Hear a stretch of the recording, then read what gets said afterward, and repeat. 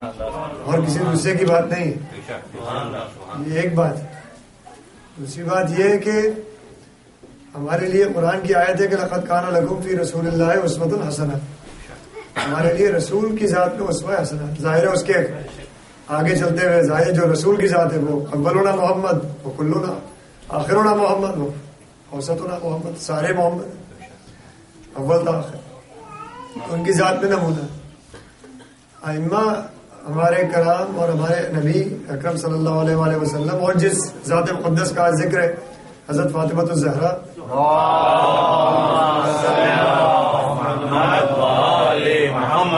یہ افراد کے درمیان جو تھے خاص ترین شخصیات میں سے تھے۔ اپنے لیے کسی خاص سلوک کے قائل نہیں تھے، بلکہ منکسر ترین افراد most humble people these were the people تو ہمیں ان سے انکساری کا سبق لینا ہے انشاءاللہ کہ اپنے آپ کو اور کہیں پہ اپنے ذہن میں تکبر، غرور، خدا سے پناہ مانگے انشاءاللہ اس سلسلے میں کہ دو الفاظ آنے کی وجہ سے انسان کے ذہن میں انشاءاللہ کوئی غرور اور تکبر نہ آنے پائے کیونکہ شیطان بھی جاہل نہیں تھا، عالم تھا۔ تو انشاءاللہ آپ میرے حق میں دعا کریں اور میں آپ کے حق میں کہ خدا بند ہم کو اس مرض سے دور رکھے۔ محمد والے محمد صلوات۔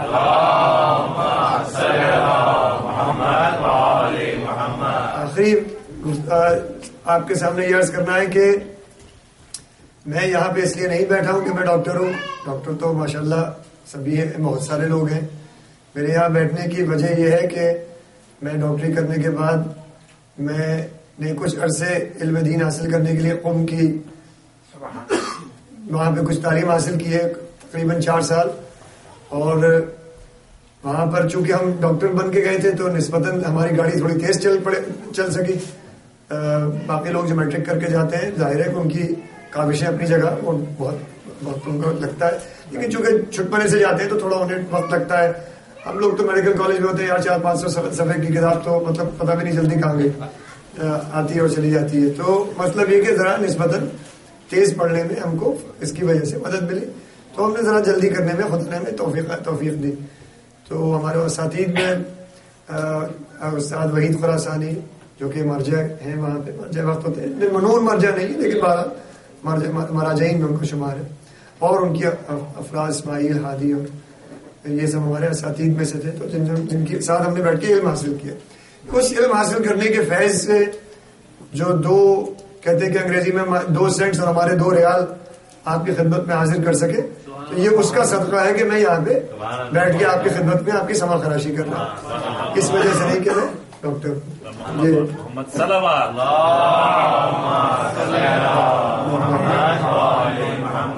اور آخری بس بات اتنی ہے کہ ہمارے جیسا کہ آپ کی خدمت میں عرض کیا کہ ہمارے انبیاء اور ہمارے اولیاء، ائمہ، ان ہم نے قرآن کیا فرق کہتا ہے، ہم نے تم میں سے لے کر آئے، تم میں سے لے کر آئے۔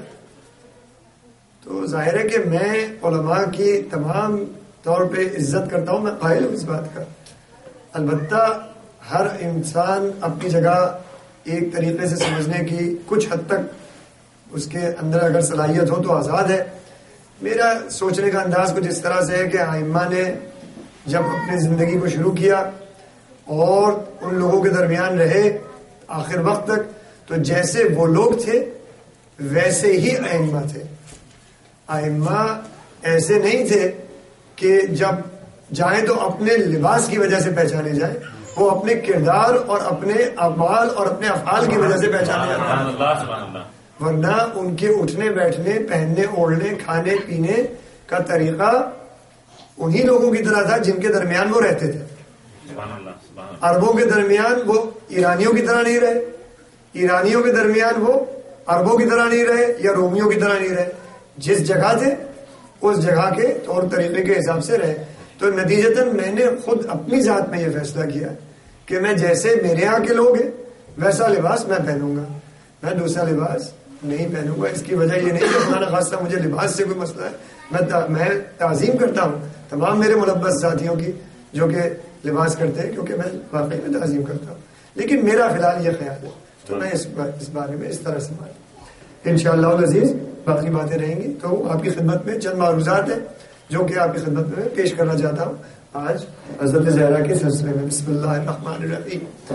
والصلاة والسلام علی سید الانبیاء والمرسلین۔ سیدنا و نبینا بالقاسم المصطفى محمد.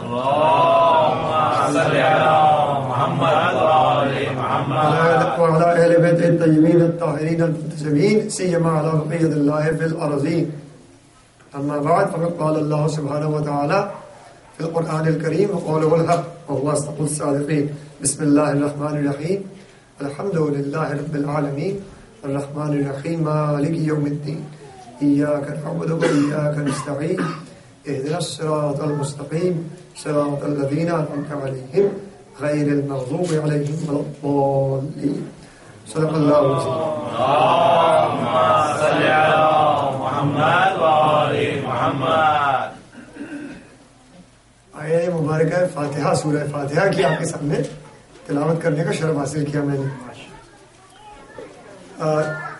اس سے پہلے کہ میں اس موضوع کے اوپر ذرا سا روشنی ڈالوں میں اپنے چھوٹے بچوں کے لیے کچھ دو منٹ انگریزی میں بات کرنا چاہوں گا۔ السلام علیکم my dear young children and my younger colleagues I am about fifty years old so you know anybody is less than fifty years old is younger colleague that's the way it is So, so we are old people. Having said that, having said that, this is uh, one of the commemorating occasion where we are getting together to remember Hazrat Zahra, who was the daughter of our Prophet.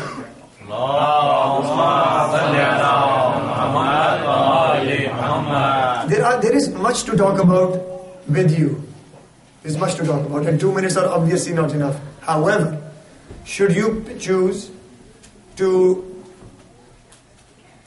ask questions and seek answers after I am done with my today's presentation, please feel free. Please, you are welcome to talk to me, to contact me, to talk to me here after, or even earlier tomorrow and uh, I I will be happy to address your issues as needed. Number one, I would like to just tell you a few things because we are Shia. What do you mean by Shia? Shia means a group. Okay? It just means a group. In as a term, it means the group that is following the path presented by Imam Ali and continued by Imam Ali the, of the message that was brought by our Prophet. That is what Shia is. However, that is the actual, that is not the actual meaning of Shia. That is what Shias are understood as. Shia means the follower of truth. So, what is your good name? The one in grey shirt, the red one. What is your good name? Please. Aqeel. Aqeel? Aqeel. Aqeel. How much is 2 plus 2? 4. Is this room bigger than this house? Yes. I mean, no, no. No. Are you sure? Yes. Is this a fact? Yes. Good job. So this is true, right? A Shia is a believer in truth. He believes in truth because it is reasonable to believe in truth. So if somebody asks, why do you believe that this room is smaller than the building? You will say, it is obvious, come, this is room, this is building, therefore this is part. Part is always less than its whole, right? So therefore, the room is smaller than the building. This is a fact, right? We believe in it. A Shia is believer of truth. Is God bigger truth or 2 plus 2, 4 bigger truth? Which one is bigger truth? God. So, a Shia believes in God not because somebody said so, but because it is proven. I can prove it. So, if somebody comes and says, Why do you believe in God? You, you say, Quran, it is written in Quran. You say, well, Quran is your book, it's obviously going to say that. Why do you believe in God? Quran is the book of God. You have to believe in God in order to believe in Quran. You can't take it the reverse way, right? So, who created Allah? That's the question. If everybody has a, every, everything has a creator, then who created Allah? That's the question. The only, yes. Yes? You want to answer the question? Because they created Allah. Huh? Because He is the creator. But then how do you know? Because it has said that in the Quran. Ah, but Quran is your book. If some other book comes and says there is no Allah, will you believe it? No, Why? because there is proof that the Quran is the real uh, uh, book and that it is the only. Well, that's mashallah good, but you are young, I'm not going to argue with you. But I'm going to otherwise say that did you see that proof? Obviously not. Nobody's. But we believe in Allah not because it says in Quran, but we believe in Quran because it is the book of Allah. Right? So we believe in truth. We can so we believe in proofs and we can prove it. We are so if you are interested in learning proof, I will be happy to present it to you. And by the way, you are open to ask any question. And you will not find me saying, why did you ask this and why did you ask that? No. Whatever question you have asked, no problem. We are from the school of Imam Ali. What did he say? Saluni. Ask me. He didn't say, if you ask me, you're going to go on the wrong side. He said, no, no, no, no. Ask me. Ask me. Right? Before I am no more among you. Right? So ask me. If you have questions, ask me. Because there is a difference between knowing and thinking that you know. Knowing is different from. So inshallah, if you need, I will finish here with you. If this is Shia, Shia is the follower of truth. We believe in truth because we can prove it. If we cannot believe in it, if we cannot prove it, we don't believe in it. That's all there is to it. Let's, let's say salawat bar Muhammad wa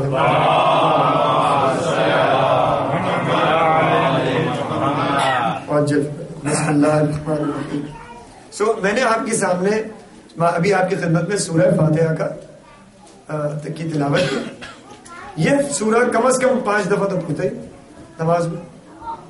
اور اس سورہ کو کی تلاوت کا ایک خاص مقصد تھا آپ کی خدمت میں۔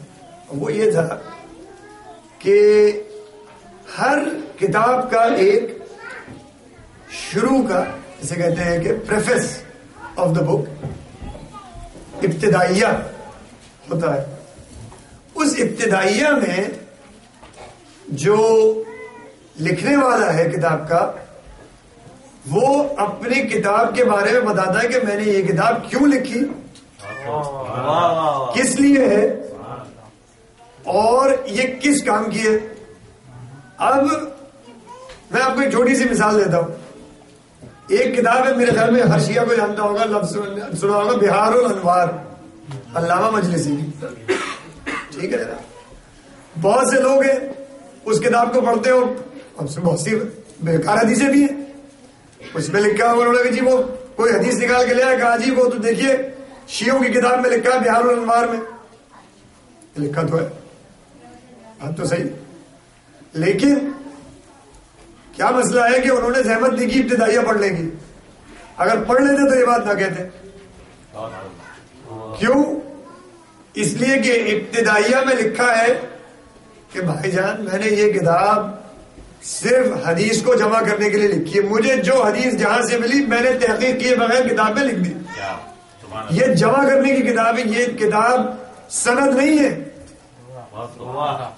ہمارے یہاں کوئی چیز کی سند جو ہے وہ اس معنی سے نہیں ہوتی کہ اس کتاب کا لکھنے والا کون ہے یا یہ کتاب کس مکتبہ فکر سے تعلق رکھتی ہے سچ کا اپنا ایک معیار ہے کو جو چیز جہاں پر بھی ہو اگر سچ کے معیار میں پوری اترے گی وہ ہماری ہے کیا بات ہے اللہ اگر سچ کے معیار میں پوری نہیں اترے گی وہ ہماری نہیں ہے بات ختم تو بھائی اگر کتاب کا ابتدائیہ پڑھ لیا ہوتا جس میں اس نے مولف نے یہ لکھ دیا ہے، جس میں جو جمع کرنے والا ہے کتاب کا حدیث کا، اس نے یہ لکھ دیا ہے کہ میں نے ان حدیثوں کو تحقیق کیے بغیر لکھا ہے، برائے مہربانی ان حدیثوں کو صنعت کے طور پہ مت لیجیے گا۔ اگر کوئی حدیث میری کتاب میں مل جائے تو ذرا اس پہ تحقیق کر لیجیے گا کہ صحیح بھی ہے یا نہیں۔ اب آپ نے کتاب کا ابتدائیہ تو پڑھا نہیں پریفیس تو پڑھا نہیں۔ اور داغ دیا کہ جی یہ تو شیوں کی کتاب میں لکھا ہے۔ بھائی لکھا تو ہے کتاب کے لکھے کی لکھنے والا شیعہ ہے۔ لیکن یہ حدیث شیوں کی نہیں۔ ہے دو الگ الگ باتیں۔ ٹھیک ہے۔ تو اسی طرح قرآن کا بھی ایک ابتدائیہ ہے، جو جو کہ آپ کو معلوم ہے، سب کو معلوم ہے۔ قرآن کی پہلی آیت تو یہ نہیں تھی۔ قرآن کی تو پہلی آیت اقرا تھی تو لیکن رسول نے، ائمہ نے جب سوچ سمجھ کے جب قرآن کو کتاب کی شکل میں لے کر آئے مجلد جلد کے درمیان جس کو کہ قرآن کریم کا نام دیا گیا اس وقت یہ طے پایا گیا وہی کے ذریعے عصمت کے ذریعے کہ سورہ الحمد ابتدائی ہے کتاب کا فاتح کتاب ہے باب کتاب ہے شروع کتاب ہے۔ اب اس شروع کتاب میں دیکھیے کیا بات ہو رہی ہے۔ شروع کتاب میں کہا بھائی، پہلے تو اللہ کا ذکر ہو جائے گا، یہ کتاب اللہ کے بارے میں ہے۔ کہا، الحمدللہ رب العالمین۔ بتا دیا بھائی، لیکن اگر اس کتاب کو پڑھنا ہے تو ذرا اس کے محتوا جو اس کے اندر لکھا ہوا ہے، اس کی ایک اجمالی گفتگو آپ سے کر لی جائے کہ یہ اس کے، اس سے، اس میں کیا کیا مسائل ہیں اور ان سے اس کو کرنے کے لیے کیا بات کرنی پڑے گی۔ یہ نہیں ہو ورنہ کہ کہہ دیں جی قرآن میں لکھا ہوا ہے۔ بھائی، لکھا تو ہوا ہے، لیکن کس حوالے سے لکھا ہے، یہ بھی تو دیکھ لو نا یار۔ تو یہ بات ہے۔ تو کہا الحمد للہ رب العالمین۔ اللہ جو تمام جہانوں کا اللہ ہے، اس کے ہے۔ شکر ہے۔ چلیے بھائی، ٹھیک ہے۔ مالک یوم الدین۔ چلیے بھائی، یوم الدین کا مالک بھی ہے۔ ٹھیک ہے۔ اچھا اس بیچ میں رحمان الرحیم بھی ہے کہ بھائی، کہا کہ رحمان اور رحیم کی صفت غالب ہے۔ ٹھیک ہے، چلیے۔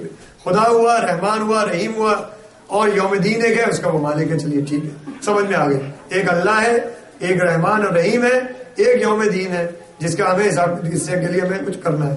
اچھا۔ اچھا بھائی، ٹھیک ہے۔ ایا کا نام تو ایا کا نستا ہی اچھا بھائی، تمہاری عبادت کرتے ہیں، ظاہر اور کس کی کرے اور تمہیں سے مدد مانگتے ہیں، چلیے، بھی بات ہو گئی۔ مدد بھی اسی سے مانگنی ہے۔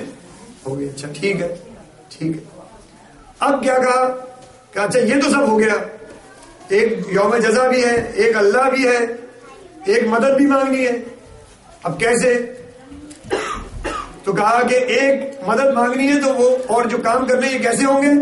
ایک راستہ ہے جس پہ چلنا ہے۔ ایک دن سراط المستقیم۔ کہا بھیا ایک سیدھا راستہ ہے وہ جو کہ وہاں پہ اس پہ چلنا ہے۔ اچھا بھائی کہا چلو ٹھیک ہے سیدھے راستے پہ بھی چل لیے۔ اب کہا بھائی اچھا بھائی تو سیدھے راستے پہ تو ٹھیک ہے تو کیسے پتا چلے گا؟ کون سا راستہ سیدھا؟ کہا سراط الذین یہ لذینہ بڑے کام کا لفظ ہے۔ اگر اگر لذینہ نہیں سمجھ میں آیا تو پورا قرآن نہیں سمجھ میں آیا۔ ان کا راستہ۔ کچھ ہے جن کا راستہ۔ ان کا راستہ۔ کن کا راستہ بھائی؟ ان کا راستہ۔ کیا بات ہے۔ سراط الذین کون انعمت علیہم جس پر آپ نے اپنی نعمت اللہ نے اپنے حوالے سے اپنی نعمت یعنی اللہ جو کہ مالک کے کول ہے اس نے اپنی نعمت تمام کر دی۔ ٹھیک ہے انعام افل تفضیل یا افل وصفی ہے پیک پہ ختم کر دی میں نے چلو۔ اچھا خالی بات بات یہ نہیں کہ خالی نعمت ہی تمام کی نا؟ انعمت علیہم غیر المغضوب علیہ اچھا کبھی غصہ بھی نہیں ہوا؟ اچھا اچھا بات یہاں پہ بھی ختم نہیں ہوئی۔ کہا ناصف یہ کہ کبھی انعمت علیہم غیر المغضوب علیہم اور وہ کبھی الٹے سیدھے بھی نہیں چلے۔ واہ واہ سیدھے چلتے چلے گئے۔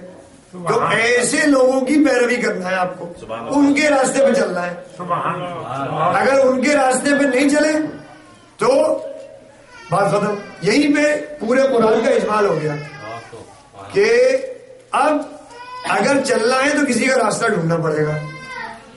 کسی کو تو ڈھونڈنا پڑے گا۔ اور وہ ایسا ہونا چاہیے جو کہ اس اللہ کی نعمتیں تمام ہو چکی ہوں اس پہ۔ سبحان۔ وہ کبھی گمراہ بھی نہ ہوا ہو۔ اللہ کبھی اس پہ ناراض بھی نہ ہوا ہو۔ ہم تو نہیں جانتے کسی ہم میں سے ایسے کو جو کہ جس پہ اللہ کبھی ناراضی نہ ہوا ہو۔ اگر کوئی کہہ دے تو کہیں گے کہ بہت ہی بڑا متکبر آدمی ہے۔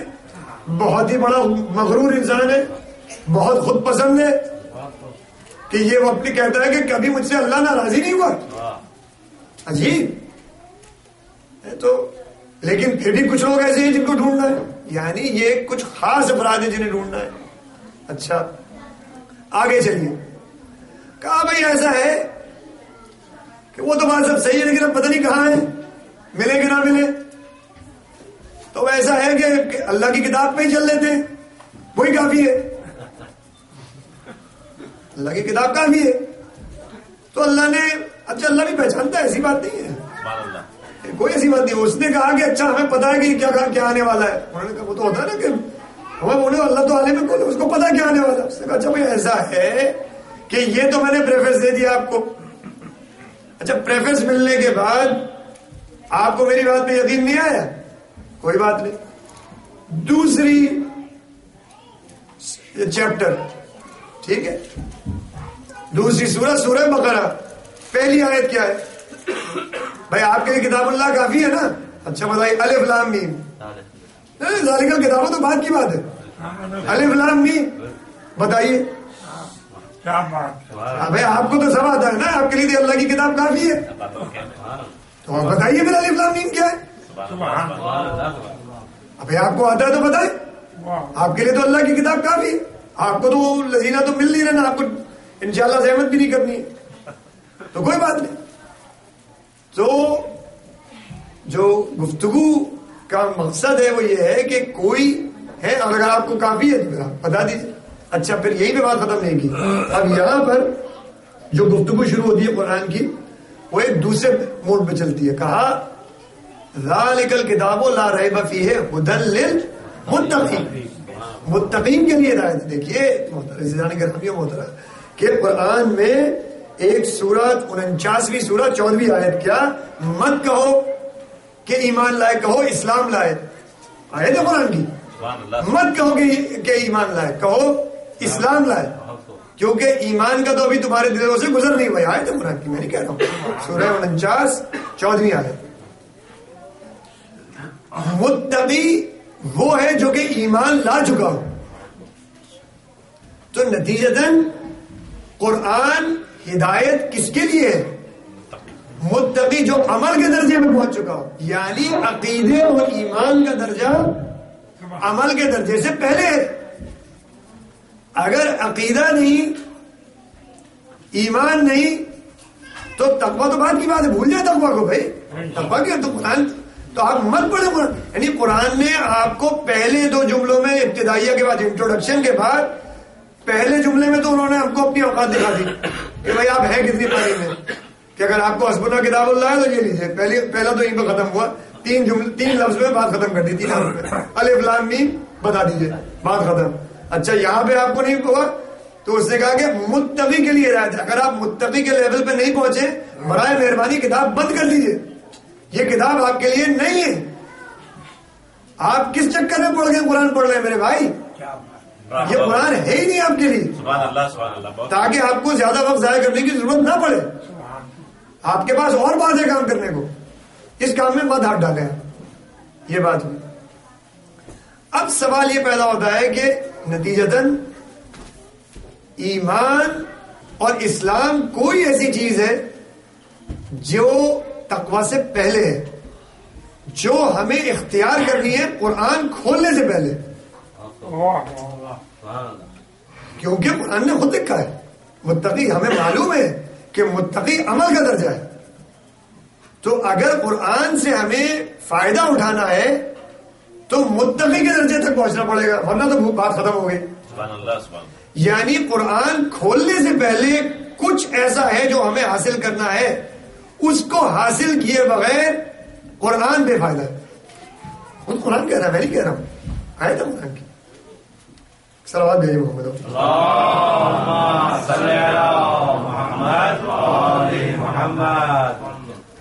اور اسی اجمال کو قرآن نے بیان کر دیا سورہ حمد۔ میں کہ کیونکہ اسی کے بعد آپ آگے جائیں گے آپ کو شوق ووق پہ پڑھ لینا کیا ہے اس میں تو؟ انہوں نے کہا کہ بھائی یہ پہلے پڑھ لیا آپ نے۔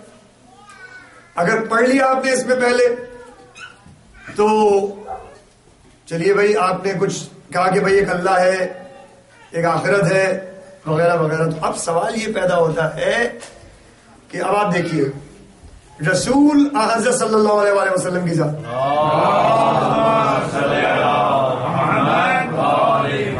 بیست کے ابتدا ہے، آ حضرت کے پہلے جملے کیا ہے؟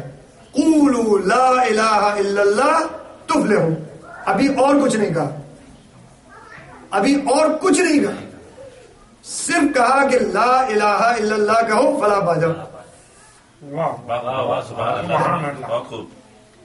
اچھا صرف دلیل کے طور پہ بات لا رہا ہوں کہ قرآن میں ایک آیت ہے کہ یہود اور نصارہ آپ کے پاس آتے ہیں کہتے ہیں کہ ہم سچے ہیں ہم جنت میں جائیں گے۔ یہ آیت ہے قرآن کی۔ قرآن کہتا ہے قل ہاتھو برہانکم ان کنتم صادقین۔ برہان عربی میں کہتے ہیں irrefutable ایویڈنس وہ دلیل جس کو رد نہ کیا جا سکے، یہ عربی میں برہان کہلاتی ہے۔ ورنہ اور بھی دلائل ہیں، لیکن اس کو برہان نہیں کہتے۔ شعر ہے، جدل ہے خدابہ ہے، اور دوسری چیزیں۔ لیکن برہان نہیں کہتے اسے۔ برہان یعنی irrefutable ایویڈنس جس کو وہ دلیل جسے رد نہ کیا جا سکے۔ اچھا تو سوال یہ ہے کہ کوئی آپ کے پاس آئے تو آپ اس سے کہیں دلیل دو۔ اور اگر کوئی آپ سے دلیل مانگ لے تو آپ کیا کہیں گے؟ بھئی ایسا ہے کہ ہم تو دلیل نہیں رکھتے۔ ہم تو کہہ رہے ہیں ہماری بات مان لو تو کہے گا بھائی اگر آپ ہی کی بات ماننی ہے تو میں اپنی کیوں نہ مان لوں؟ تو عزیز نے گرامی و محترم آج جس ہستی کا ذکر ہے اس ہستی کے ذکر کے ساتھ عصمت جڑی ہے۔ اور اس کے وجود سے کائنات کی برکتیں جڑی ہیں۔ اور چاہے ہمیں احساس ہو یا نہ ہو کائنات اس کے وجود سے منور ہے اور اس کے وجود اس کی جب اس دنیا سے عدم موجودگی سے غمگین دونوں طرح۔ ہم سوگ منائے نہ منائے کائنات میں بہت ہے ان کا سوگ منانے کے لیے۔ ہم ان کے خوش خوش ہو یا نہ ہو کائنات میں ان کی خوشی منانے والے بھی بہت ہیں۔ لیکن سوال یہ پیدا ہوتا ہے کہ ہمارا کیا وظیفہ ہے ہمارا کیا وظیفہ ہے۔ یہ سوال ہے۔ دیکھیے علماء عالم کون ہے عالم وہ ہے جو کہ بند جو کہ افراد جو کہ اس علم کو نہیں پا پایا کسی وجہ سے۔ کیونکہ معاشرے میں ہر افراد کا ایک کردار ہے۔ ہر آدمی تفقع دین میں اگر لگ گیا تو تو دوسرے کام کون کرے گا؟ سبحان اللہ۔ تو لیکن جن افراد نے اس کا بیڑا اٹھایا ہے اس کا کام چند کام ہے۔ ایک آیت ہے قرآن کی، وہ یہ کہ وہ یہ ہے کہ وہ ڈرے نہیں لوگوں سے، صرف خدا سے ڈرے۔ بس۔ اور اس کا کام یہ ہے کہ وہ لوگوں کو متصل کرے خدا سے۔ چاہے اس کی کوئی بھی قیمت ہو۔ دین کو فروخت نہ کرے دنیا میں۔ یہ ضروری ہے عالم کے لیے۔ اگر لوگوں سے ڈر سے کوئی بات نہیں گئی عالم نہیں ہے، حق نہیں پہنچتا ممبر میں بیٹھنے کا۔ تو یہ ضروری بات ہے۔ اور عزیزان گرانی گرامی و محترم، یہ ہمارے لیے سوچنے کا مقام ہے کہ ہم آج یہاں پہ ان ہستیوں کا ذکر کر رہے ہیں، جن کے وجہ سے آج ہمارے پاس سب کچھ موجود ہے، لیکن ہم نے توجہ نہیں دی ان کے پیغام کے اوپر۔ ان کا پیغام کیا تھا؟ دیکھیے، وہ پیغام لائے تھے جمع کرنے کا، اجتماع کا پیغام تھا۔ آج وہ پیغام افطراک کا پیغام بن گیا ہے۔ یعنی اگر آپ کسی جگہ پہ یعنی یہ جگہ ونڈسر سے مختص نہیں ہے یہ بات۔ آپ یقین کیجیے، آپ نائنٹی نائن پرسینٹ جگہوں پہ چلے جائیں، وہاں پہ یہی ہے کہ اگر پانچ سینٹر ہیں تو پرسوں دس ہو جائیں گے۔ اور وہ ہر دس سینٹر ایک دوسرے کے خلاف کام کر رہے ہوں گے۔ ان کے افراد ایک دوسرے سے مل کے نہیں بیٹھ سکتے، خاص طور سے ٹاپ کے افراد۔ وہ افراد جو سینٹر چلانے والے ہیں، بڑے افسوس کا مقام ہے۔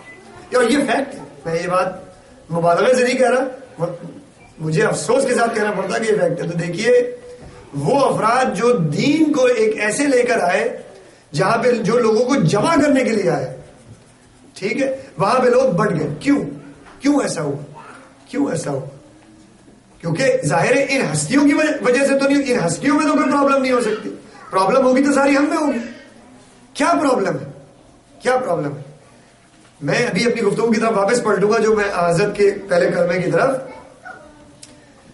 امام کہا جاتا ہے امام جعفر صادق علیہ السلام۔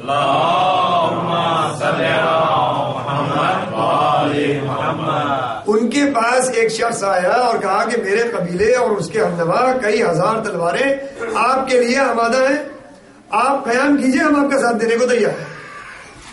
اچھا ہاں اندر امام نے بولا "بے- بے- بے- بیٹھے بھائی اتنی دور سے آئے تھک گئے ہوں گے آگے بیٹھ لیں بیٹھ گئے میں نے کہا اچھا آپ کی مطلب یہ بڑی خوشی بھی سن کے بڑا اچھا ہوا آپ آئے تھے۔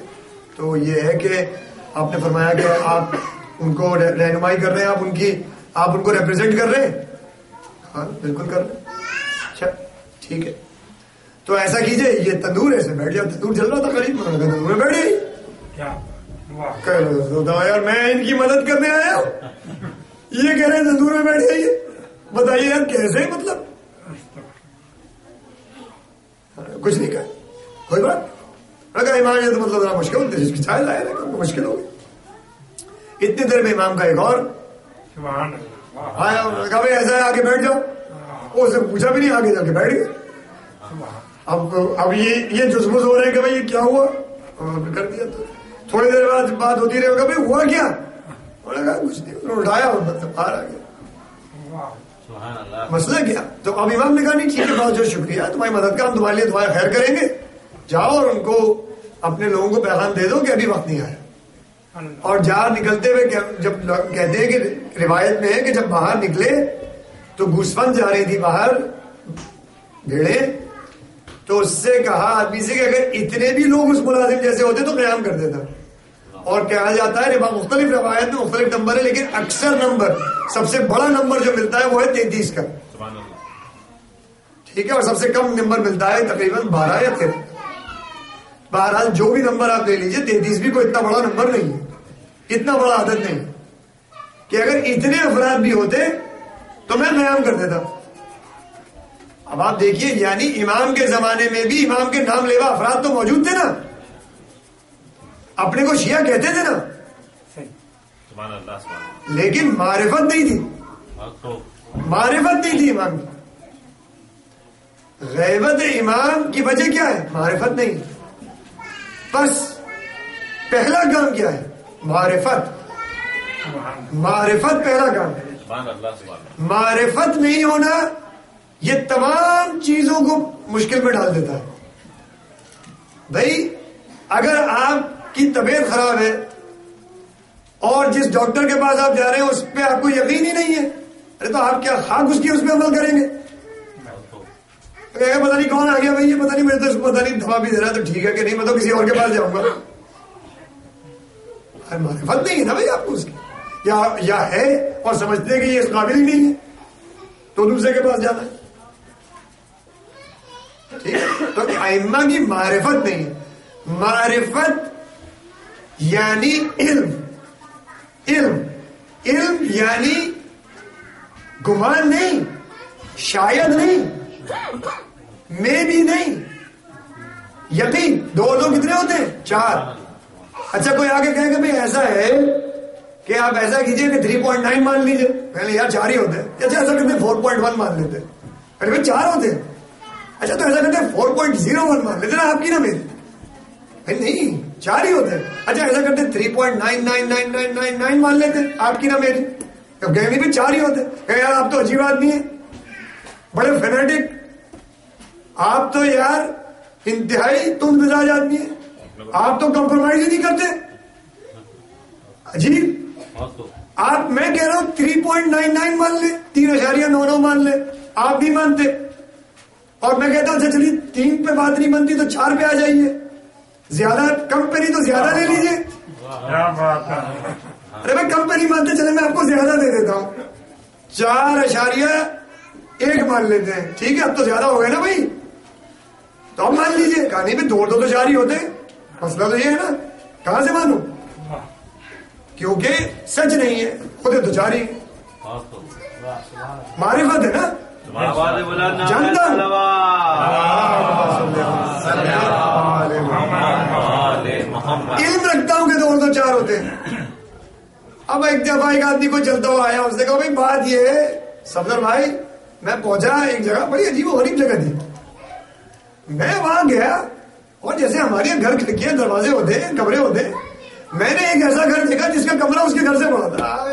تو سفدر بھائی کہیں گے بات یہ ہے کہ میں بھی رات کو پیدا ہوا تھا، لیکن وہ کل رات نہیں تھی۔ کہتے نا انگریزی میں کیا was born at night but that was not last night ٹھیک ہے نا؟ تو بھائی صاحب آپ ٹھیک ہے بھیا کہتے اردو اردو میں کہتے ہیں گھوڑا گھاس کھاتا ہے کچھ تو کم کرو یار۔ یہ نہیں چلے گا۔ کیوں؟ اچھا اس نے کہا ایسا ہے کہ دو کمرے تھے گھر میں لیکن ایک کمرہ گھر کے پورے برابر تھا یہ بھی نہیں چلے گا۔ جب دو تھے تو ایک کمرہ تو گھر سے کچھ چھوٹا ہو گئی۔ اس میں کمپرومائز نہیں ہو سکتا کیوں؟ علم ہے۔ علم ہے۔ کمپرومائز نہیں کریں گے آپ اس- جس چیز کا علم ہوتا ہے وہاں کمپرومائز نہیں ہوتا واہ کیا بات ہے واہ واہ واہ بہت تو محترم جہاں پہ کمپرومائز ہو گیا وہاں پہ علم میں کمی تھی یا معرفت میں کمی تھی یا دل میں کھوٹ تھا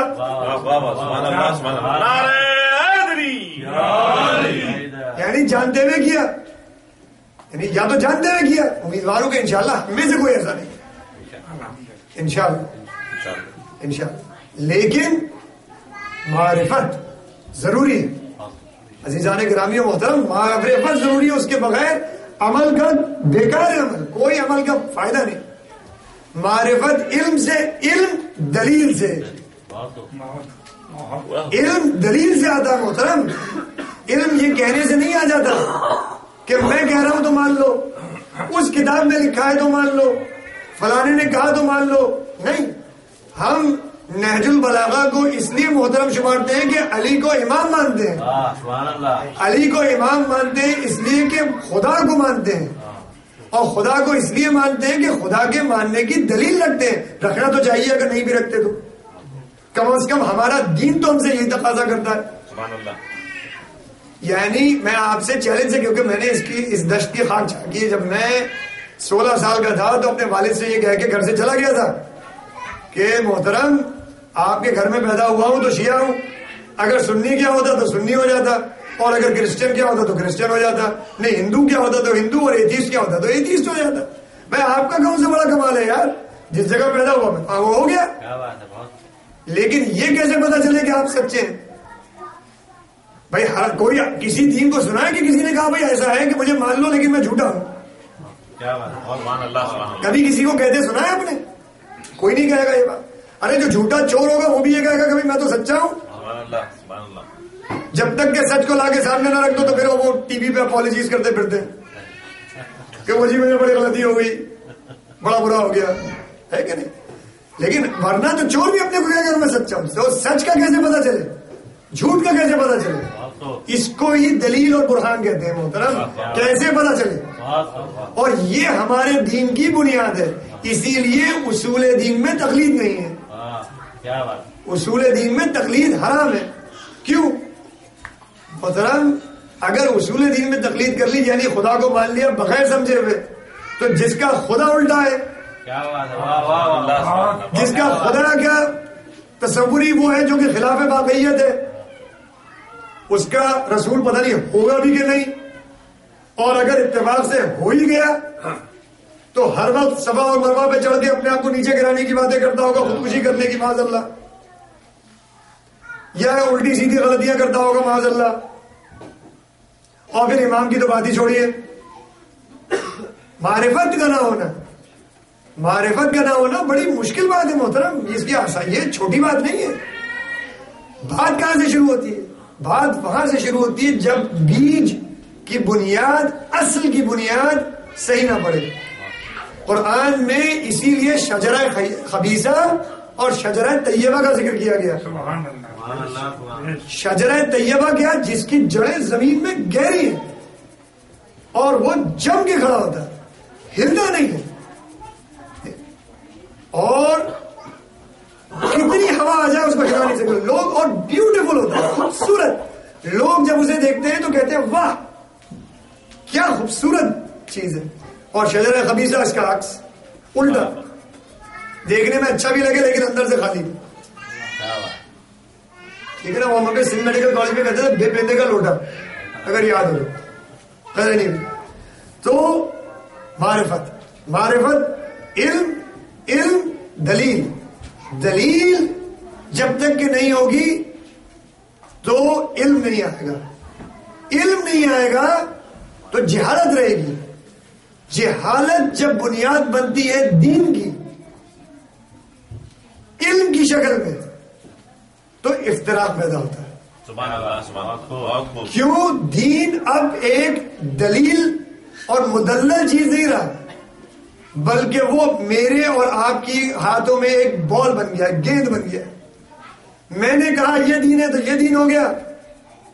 اور کسی نے کہا وہ دین ہے تو وہ دین ہو گیا۔ انہوں نے کہا کہ مجھے رسول کو ایسے فالو کرنا ہے تو وہ ہو گیا۔ انہوں نے کہا کہ میں امام ایسے تھے تو وہ ویسے امام ہو گئے۔ دلیل کے بغیر گفتگو ہے۔ دین کی اساس کو خود کیا بنایا ہوا اپنا اوپینین اپنا جو ہم نے اب ایک خیال ذہن میں بنایا۔ ٹھیک ہے؟ وہ ہم نے سمجھا کہ دین بن گیا ہے۔ جب ہم نے اس راستے کو اپنایا تو اب ہم تفریح کے راستے پہ چلتے چلے گئے۔ چلتے چلے گئے بڑھتے چلے جائیں گے بڑھتے چلے جائیں گے۔ آج اب دس کی بات نہیں کریں دس ہزار بٹیں گے۔ رسول جب آئے اب میں اپنی موضوع پہ بات کرتا ہوں رسول جب آئے تو یہی تھا۔ کتنے تی- تین سو سے زیادہ بت تین سو ساٹھ اور کچھ میں تو اور بھی زیادہ لکھے ہوئے۔ بت بنے بت کیا ہے؟ بت یہ تھوڑی خالی کے ظاہر ظاہر ہے۔ یہ خیال ہے۔ میرے خیال میں خدا یہ ہوگا۔ میرے خیال میں خدا ایسا ہوگا۔ اور میرے خیال میں یہ خدا ایسا بھی ہو سکتا ہے۔ اور یہ خدا یہ بھی یعنی جس کا جو مرضی آیا اس نے خدا بنا دیا۔ چل رہا ہے۔ تبھی قرآن کی کیا آیت ہے؟ کیا تم نے اس شخص کو نہیں دیکھا؟ جس نے اپنے خواہشوں کو اپنی سوچ کو اپنی سمجھ کو اپنا خدا بنایا۔ ہے تو قرآن کی؟ سبحان اللہ۔ ہے تو قرآن اپنا خدا بنا دیا۔ کیا تم سمجھتے ہو کہ یہ لوگ ہدایت پا سکتے ہیں؟ نہیں۔ پیدا کبھی ہدایت نہیں پائیں گے۔ ہے تو قرآن کی۔ اور نہ صرف کہا کہ یہ چوپائے اور چوپائے سے بھی بدتر ہے، کیونکہ ان کے پاس تو عقل نہیں ہے، یہ تو عقل ہوتے ہوئے ایسا کام کر۔ عزیزان کے نامی محترم، یہ بہت سیریس مسئلہ ہے۔ اور آج تمام امت مسلمہ کو درپیش ہے۔ کیا religion is based on faith عقیدے کی بنیاد پہ مذہب اور عقیدے کی خود کوئی بنیاد نہیں۔ عقیدہ بڑا عقیدہ۔ یہ عیسائیت ہمارے مذہب کو کھا گئی اور آئمہ سے ہم نے لذینہ کو چھوڑ دیا۔ لذینہ دلیل لائے تھے۔ وہ علم موجود ہے۔ آپ یقین کیجیے کہ اگر آپ علماء سے رجوع کریں گے اور جو اس کا جواب نہیں دیتا آپ بہتر برائے مہربانی اس سے کنارہ کشی اختیار کریں۔ کیونکہ یقین کر لیجیے کہ وہ عالم نہیں ہے۔ کم از کم ہمارے مکتب کا تو نہیں ہو سکتا۔ سبحان اللہ سبحان اللہ۔ باقی کسی مکتب کا بھی ہو۔ اگر وہ آپ کو اس راستے پہ دلائل سے نہیں لا سکتا، تو وہ مجھے نہیں پتا کس کا عالم ہے، لیکن شیعہ کا عالم نہیں ہو سکتا۔ ٹھیک ہے؟ کیوں؟ ہمارے یہاں اصول دین میں تقلید کی ہی نہیں جا سکتی۔ آپ کو جواب دیجیے کہ اس بات کا کیا جواب ہے کہ خدا کو کس نے پیدا کیا۔ ہم آپ سے سوال کریں گے اور آپ کو جواب دینا پڑے گا۔ آپ بھاگ کے نہیں جا سکتے۔ اور اگر بھاگ کے جا رہے ہیں تو پھر دوبارہ تشریف مت لائیے۔ گا سمجھ رہے میری بات؟ کیوں؟ اس لیے کہ ہمارا دین علم کا دین ہے، جہالت کا دین نہیں ہے، ہمارا دین محکم دین ہے۔ ایسا کمزور دین نہیں ہے کہ سوال پوچھنے سے ختم ہو جائے۔ ہمارا دین ایسا دین ہے جو کہ لوگوں کو راہ دکھاتا ہے، روشنی دیتا ہے، جہالت نہیں دیتا، اندھیرے نہیں دیتا۔ یہ دین ہے ہمارا۔ اور جب دلیل کے اوپر بات بنے گی، تو جو افراد یقین کیجیے دلیل پہ آپ سے آ کے ملیں گے، وہ وہ افراد ہوں گے جو ان کو جو کہ سچے ہوں گے آپ سے۔ کیونکہ دلیل سچ کی طرف لے کے جاتی ہے۔ دلیل سچ کی طرف لے کے جاتی ہے۔ اور آپ کو نبی قرآن میں کیا کہا؟ نہیں کہا، کونو من المسلمین کہا، کونو مع صادقین سچوں کے ساتھ ہو۔ سچوں کے ساتھ ہو۔ دلیل سچ کی طرف لے کے جاتی ہے۔ برہان سچ کی طرف لے کے جاتا ہے۔ سچ علم کی طرف لے کے جاتا ہے، علم روشنی کی طرف لے کے جاتا ہے، روشنی نجات کی طرف لے کے جاتی ہے۔ ڈر اور خوف کو نکال دیتی ہے آپ کے دلوں سے اور منور کرتی ہے آپ کو خدا کے خدا کے خوف سے اور خدا کی محبت سے۔ آپ کے دل میں ایمان اجاگر کرتی ہے۔ آپ کو ایمان کی روشنی دیتی ہے اور آپ کو تقوی کی طرف بڑھاتی ہے۔ تب آپ قرآن کو سمجھتے ہیں۔ الزینہ کے ذریعے۔ الزینہ کے ذریعے۔ وہ الزینہ تو دیکھیے، عزیزان گرامی و محترم، یہاں پر اس ممبر پہ بیٹھ کے انسان کئی باتیں کر سکتا ہے۔ نعرہ حیدری بھی لگوا سکتا ہوں۔ ایسا نہیں ہے کہ مجھے آتا نہیں ہے۔ میں وہ باتیں بھی کر سکتا ہوں۔ لیکن کیا اس وقت نعرہ حیدری کے لگانے کے کئی طریقے ہیں؟ مگر یہ علم کہاں سے آیا؟ اگر یہ حیدر کا علم نہیں ہے تو۔ یہ علم کہاں سے آیا؟ جو میں جو میں خدا کے الہیات کا علم دے سکتے ہیں ہم۔ کہاں سے آیا کیا یہ کسی اور سے آیا ہے کہ مگر؟ مگر یہ ہمارے امام کر اماموں سے نہیں یہی وہ علم ہے جس کے لیے رسول نے کیا کہا؟ قولوا لا الہ الا اللہ تفلحوا سبحان اللہ اللہ کہو کہ اللہ ایک ہے اور فلاح پا جاؤ۔ عربی میں عزیزان گرامی محترم دو طرح کی نگیشن ہے ایک نگیشن ہے کہہ دوں قولوا لا الہ الا اللہ۔ کہہ سکتا ہوں؟ لا الہ الا اللہ۔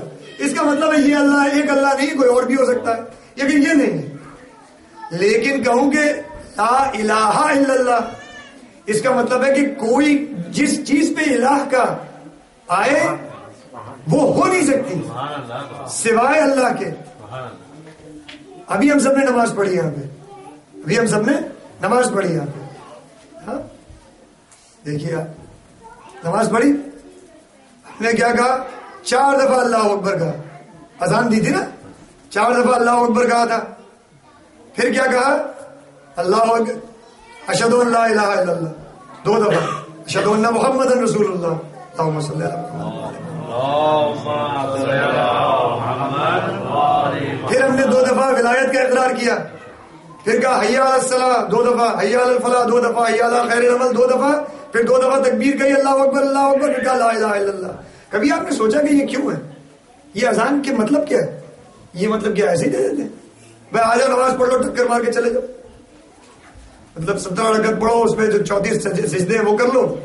وہاں اللہ اللہ خیر صلی اللہ ہے کہ نہیں؟ نہیں، ایسی بات نہیں۔ نا اگین معرفت کا مسئلہ ہے۔ دیکھیے، نماز ہے تقوا کا۔ پھر وہی بات۔ تقوا ہے معرفت کی بنیاد پہ۔ معرفت نہیں تو تقوا بھی نہیں۔ معرفت کیا ہے؟ اللہ کی معرفت پہلے۔ آخر پھر لذینہ کی معرفت آخر تک آتی ہے، بیچ میں جو ہے وہ سراط المستقیم اور یوم دین ہے۔ چار دفعہ تکبیر گئی چار بتوں کو توڑا آپ نے۔ شیطان کے بت کو توڑا۔ اپنی آرام اور آسائش کے بت کو توڑا۔ دو بجے اچھا نہیں لگ رہا رات کو، لیکن نماز پڑھوں گا۔ صبح اٹھا نہیں جا رہا، لیکن نماز پڑھوں گا۔ اپنی آرام اور آسائش۔ نوکری ہے، لیکن نماز پڑھوں گا۔ وغیرہ۔ اپنے عزیز اور رشتہ داروں کے بت کو توڑا یار تم نے داڑھی رکھ لی۔ کیسے آدمی یار اچھی نہیں لگ رہی تم پہ؟ نہیں، اللہ بڑا ہے، اللہ اکبر۔ اللہ اکبر۔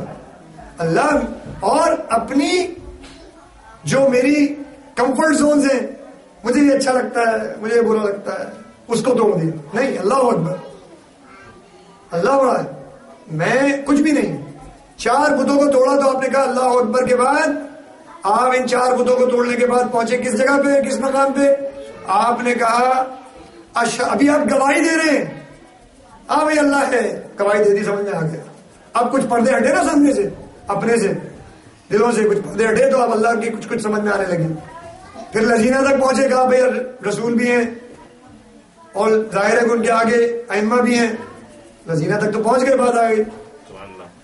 جب آپ نے یہ کیا، جب پہچان لیا ان ہستیوں کو، کچھ تقوا کے مرحلے پہ پہنچنے کی کوشش کی، تو نماز پڑھنے کی کوشش کی، سجدہ کیا۔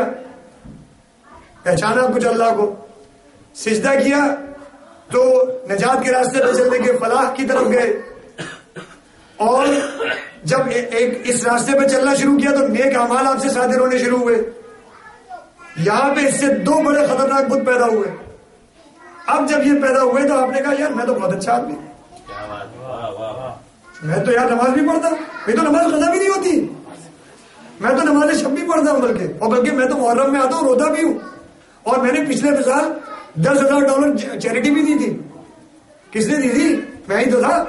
اور اگر میں نہ ہوتا تو یہ سینٹر کیسے چلتا؟ کیا بات سبحان اللہ سبحان اللہ۔ یہ دیکھو لوگ چلے آتے ہیں مجھے پتہ نہیں کیا کیا کہتے رہتے ہیں۔ اگر میں نہ ہوں کل سب کو پتہ چل جائے۔ میں خود میرے نیک عمل اور میری نیک میرے جو اچھے خیالات میں خود یہ دو بڑے خطرناک بت ہیں، یہ پیدا ہوتے ہیں۔ اپنی ذات اور اپنے ذات کے اپنے اعمال خود پیدا ہوتے تو اللہ اکبر اس کو توڑتا ہے۔ پھر اب جبکہ یہاں سے گزر گئی، یہ مت سمجھے کہ بازی ختم ہو گئی۔ نہیں، ابھی تو ابتدائی کیا بات کر رہے ہیں آپ بھائی۔ دو اس سے بڑے بت پیدا ہوئے ہیں۔ وہ خود آپ کے اپنے بت ہیں۔ ان کو جب توڑا تو اب اشد و اللہ نہیں ہے اب گواہی نہیں دے رہے آپ۔ بس اب لا الہ الا اللہ ہے۔ ہو گیا ختم۔ انسان اللہ کے ساتھ یہ نماز اس لیے بنائی گئی ہے۔ اس لیے تھوڑی بنائی گئی کہ آپ آگے چل پڑ کے اور چار چوتیس چکر مار کے سارے دن میں چلے جائیں۔ عزیزان گرامی محترم، انشاءاللہ پھر آپ سے یہ عرض کروں گا، معرفت اور تفکر اور اصل دین کو سمجھ یہ یہ ہے نعرہ حیدری۔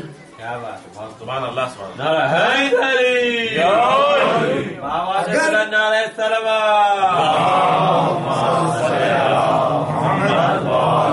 اگر- آپ اپنے واقعی میں ہیں تو اگر اگر اپنے حیدر کو خوش کرنا ہے اپنے رسول کو خوش کرنا ہے اپنی بطول کو خوش کرنا ہے تو ان کی معرفت حاصل کی۔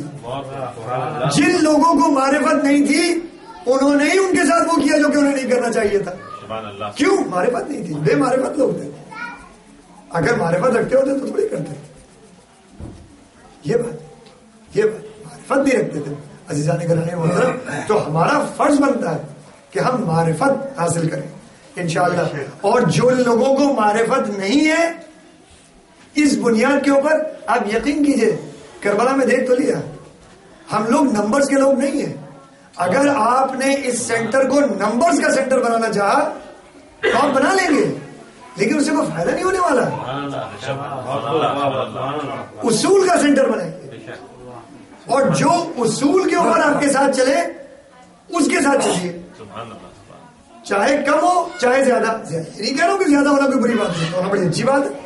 لیکن اصول کو کمپرومائز کر کے نہیں. اصول پہ چلے اس اگر نہیں معلوم تو اصول کو حاصل کریں. ان لوگوں سے جن کے پاس ہیں، اور اپنے آپ کو اصولوں کی بنیاد پہ استوار کیجیے جو حق پہ ہوگا، خود بخود آپ کے ساتھ آئے گا.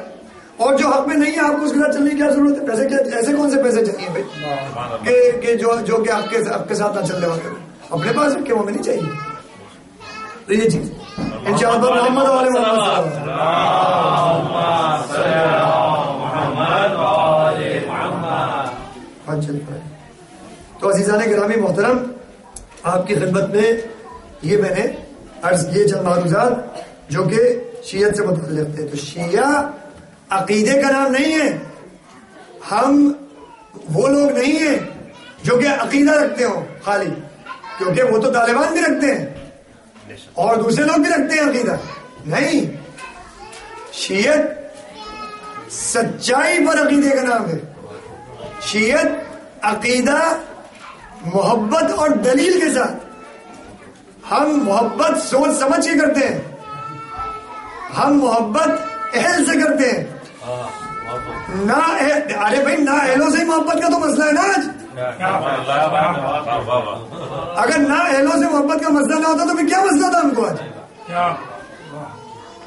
نہ اہلوں سے مسئلہ محبت کا مسئلہ ہے۔ تو وہی بات ہے۔ عزیزان گرامی محترم دلیل دلیل بہت ضروری ہے۔ کیوں؟ آخر آپ کر رہے ہیں؟ ایسا کیوں کر رہے ہیں؟ آخر کیا وجہ ہے کہ ہم نے حضرت زہرا کو معصومہ مانا؟ کیوں؟ کیا وجہ ہے کہ ہم نے اپنے ائمہ کو معصوم مانا؟ کیوں؟ کیا وجہ ہے کہ ہم خدا کو مانتے ہیں؟ بھائی ہو سکتا ہے نہ بھی ہو؟ ایسی کیا وجہ ہے کہ ہم خدا کو مانتے ہیں؟ تو کیا دلیل رکھیں گے؟ انشاءاللہ علم رکھیں گے، انشاءاللہ شخصیت شناس بنیں گے۔ انشاءاللہ اگر نہیں بھی معلوم تو تلاش کریں گے۔ اور جب تک مل نہ جائے، چین نہیں آئے گا آپ کو۔ عزیز جان گرامی، آپ کو سچ ایک ایسی چیز ہے کہ اگر آپ کو ایک دفعہ کھوج لگ جائے اس کی جب تک مل نہ جائے گا دل کو چین نہیں آئے گا۔ تلاش کیجیے۔ اور اس وقت تک لگے رہیے جب تک کہ مل نہ جائے۔ اور انشاءاللہ العزیز اس راستے پہ چلیں گے تو نجات پائیں گے انشاءاللہ۔ انشاءاللہ یہی پیغام رسول نے دیا۔ قولوا لا الہ الا اللہ تفلحو۔ اللہ کو پہچان لو گے تو یقیناً نبی کو ڈھونڈو گے ڈھونڈنا پڑے گا۔ کہ بھائی اللہ ہے جس نے مجھے کسی لیے بنایا ہے تو وہ کہاں سے اس کا میں پیغام جو پاؤں؟ کون ہے اس کا پیغام لانے والا؟ ڈھونڈوں گا تو؟ لوگوں کو پرکھوں گا تو؟ لیکن اللہ ہی کا نہیں پتا تو پھر تو پیغام کو تو بھول ہی جائیں۔ گے تو شیعہ محبت کرنے والے کا نام نہیں نہیں خالی محبت نہیں ہم محبت اس کے اہل سے کرتے ہیں۔ اور محبت اہل سے اس وقت کرتے ہیں جب ہم دلیل رکھیں اس کو پہچاننے کی۔ تاکہ وہی بات دو دو چار ہم ثابت کر سکیں۔ ثبوت کے اوپر کام کرتے ہیں ایسا کام نہیں کرتے۔ پر محمد والے محمد صلی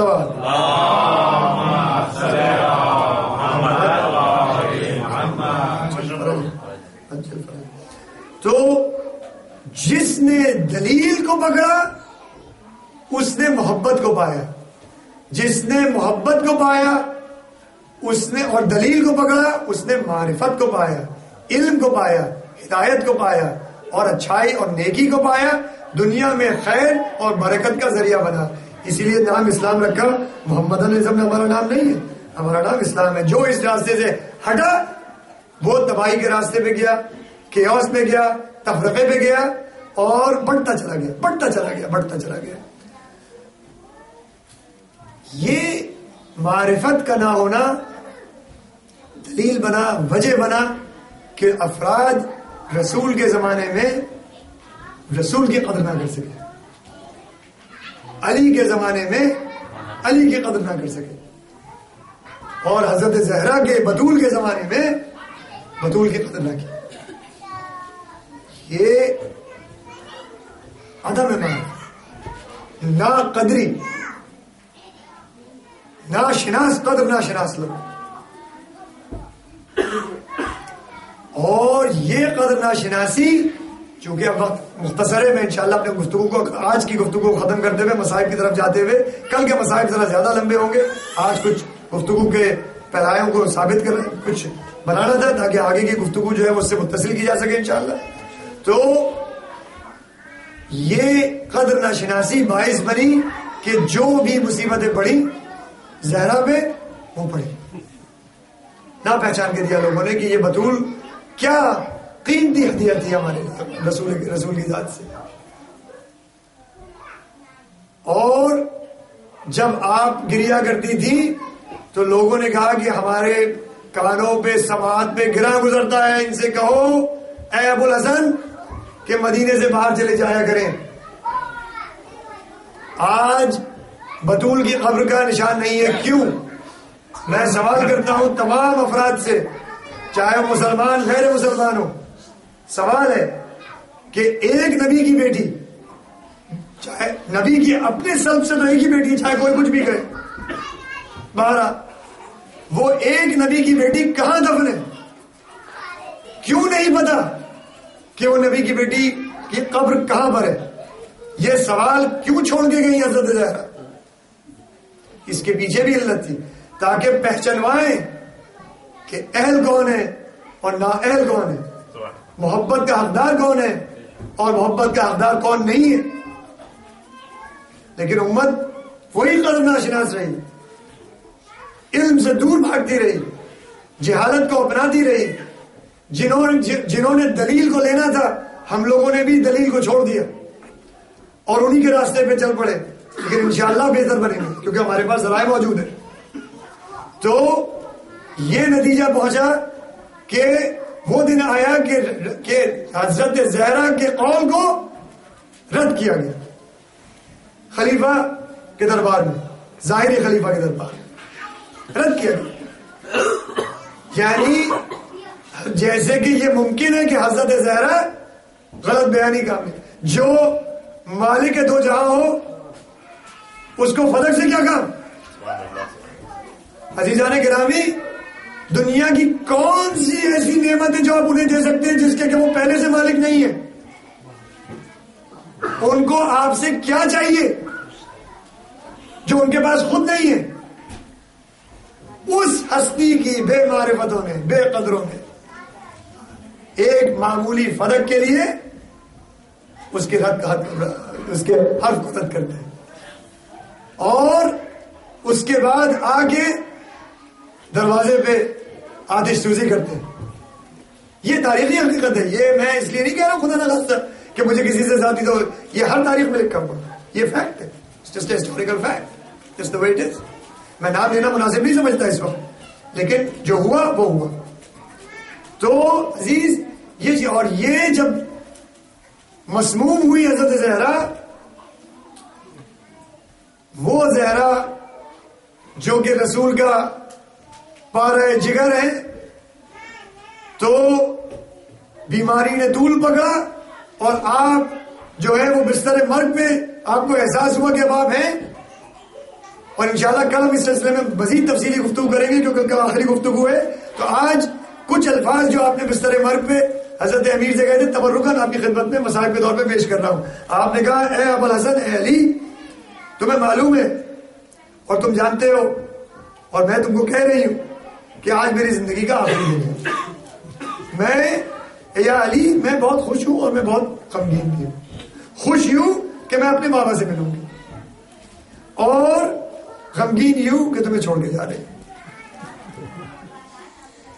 اے علی، جو میں کہہ رہی ہوں میری بات کا، میری بات کو غور اور دھیان سے سنو۔ اور جو کہہ رہی ہوں اس پہ عمل کرنا۔ میرے بعد یمامہ سے شادی کرنا چاہے کسی اور سے کرو چاہے نہ کرو، لیکن یمامہ سے ضرور کرنا۔ کیوں؟ اس لیے کہ وہ حسین کو دوست رکھتی ہے۔ میرے بچے اس سے بہت مانوس ہیں۔ علی، حسین اس کو بہت دوست رکھتا ہے اور وہ حسین کو بہت دوست رکھتی ہے۔ فضا جو میری، کہ میرے ساتھ میری میری خاتمہ ہے، میں نے اسے اپنے اولاد کی طرح پالا ہے یا علی، اگر وہ تو میرے بعد تمہارے ساتھ رہنا چاہے، اپنے گھر والوں کے ساتھ، اسے چاہنے مت دینا، اسے رکھ لینا۔ میں نے اسے اپنے بچوں کی طرح پالا۔ اور اے علی، میری میری موت سے غمگی اور دل دل برداشتہ مت ہونا۔ تمہیں ابھی اسلام کی اور خدمت کرنی ہے اور ابھی بہت دکھ اٹھانے ہیں تمہیں علی۔ دل کو جمع کر کے رکھنا۔ میری تکلیفیں اور میری مشکلات اور وہ جو دکھ مجھ پہ پڑے اے علی، وہ تم کو تم کو غمگین نہ کرنے پائے، تمہارے دل کو تمہارے دل کو تلخ نہ کرنے پائے علی۔ کہو مجھ سے وعدہ کرو کہ ایسا کرو۔ گے امام نے وعدہ کیا حضرت بیوی سے۔ پھر امام نے کہا کہ علی، میں جانتی ہوں، میں جانتی ہوں کہ تم میرے بچوں سے بہت محبت کرتے ہو علی، اور لیکن یاد رکھنا کہ وہ مجھے بہت بہت بہت وہ مجھے مس کریں گے۔ وہ مجھے یاد کریں گے بہت، میرے بچے۔ ان کی شفقت، مادری بھی ان پہ نشاور کرنا میری جگہ۔ خاص طور سے حسین سے۔ وہ میرے سینے پہ رکھ کے سر اپنا سوتا تھا۔ وہ اس کو مس کرے گا کچھ دنوں سے، میری بیماری کی وجہ سے سر رکھ کے نہیں سویا۔ وہ مجھے مس کرتا۔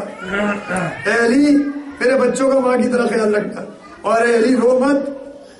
میں جانتی ہوں کہ تم اپنے آپ کو باہر کس طرح سے رکھتے ہو؟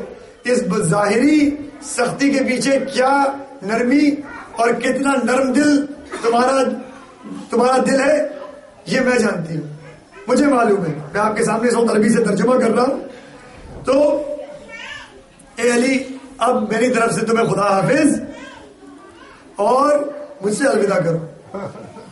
امام، کہا جاتا ہے کہ امام اور بی بی نے آپس میں کچھ گفتگو فرمائی۔ نہیں معلوم کہ وہ کیا گفتگو تھی۔ اس کے بعد امام اٹھ کے تشریف لے گئے کمرے سے۔ حضرت زہرا فرمان نے فرمایا کہ مجھے عبادت کرنے دو۔ اگر میری آواز نہ سننا تو آ جانا سمجھ لینا کہ میں اب نہیں رہی۔ کچھ دیر کے بعد جب حضرت زہرا سجدے میں گئی آپ کی آواز نہیں آئی۔ حضرت علی کمرے میں گئے اور آپ کو جب جسد جسد کو چھوا، اقدس کو، اور آپ کی جسد سے روح پرواز کر چکی تھی۔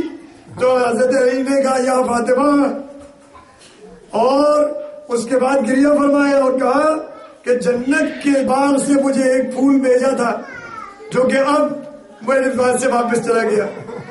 اور دوست رسول کی وفات کیا کم تھی کہ فاطمہ اس کے چند دنوں کے بعد اب تمہارا داغ بھی سہنا پڑ رہا ہے۔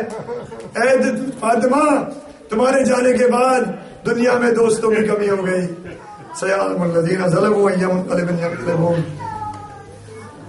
قال اللہ تعالی ان شاء اللہ ہم سب کی عبادتوں کو قبول فرمائے۔ ہم سب کی توفیقات میں انشاءاللہ اضافہ فرمائے۔ ہم سب کو انشاءاللہ اس دنیا اور آخرت میں سرفراز فرمائے۔ ہم کو انشاءاللہ حق شناس معرفت شناس اپنے آئمہ کی معرفت اور ان کی شناخت کرنے کی توفیق ادا فرمائے۔ ہمیں انشاءاللہ خدا بند متعال حق ادا کرنے کی کم از کم جتنی استطاعت ہم میں ہے اس حد تک توفیق ادا فرمائے انشاءاللہ۔ کیا وہ اے یا اللہ جو لوگ اس وقت نادار ہیں، ان کی ناداری کو دور فرما۔ یا اے اللہ، جو لوگ اس وقت قرضدار ہیں، ان کے قرض کو دور فرما۔ اے اللہ، جو لوگ بیمار ہیں، ان کی بیماریوں کو دور فرما۔ یا اے اللہ، جو لوگ اس وقت غریب الوطن ہیں اور اپنے وطن واپس جانا چاہتے ہیں، ان کے کاموں میں تصریف فرما۔ انشاءاللہ۔ اے اللہ، جو لوگ اس وقت بلا کسی وجہ کے ان کو، ان پہ ظلم و ستم کیے جا رہے ہیں اے اللہ، ان کو ظلم ستم سے نجات دے۔ اے اللہ، ظالموں کو نیس و نابود فرما۔ ہمارے امور میں بہتری فرما۔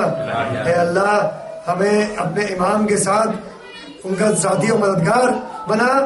اور انشاءاللہ ہم امام کے ظہور میں تاجیل فرما۔ اور ہم کو ان کے اخوان اور انصار میں سے قرار دے۔ میں اپنے محمد طیبین طاہرین ایک سورہ فاتحہ، جملہ مومنین و مومنات کے لیے۔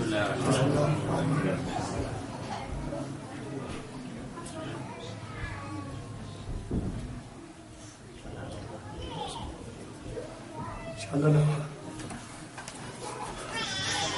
So. Y'all saying, y'all. Saying, y'all saying, y'all. Saying, y'all saying, y'all. Saying, y'all saying, y'all. Saying, y'all. Saying, y'all saying, y'all. Saying, y'all saying, y'all. Saying, y'all saying, y'all. Saying.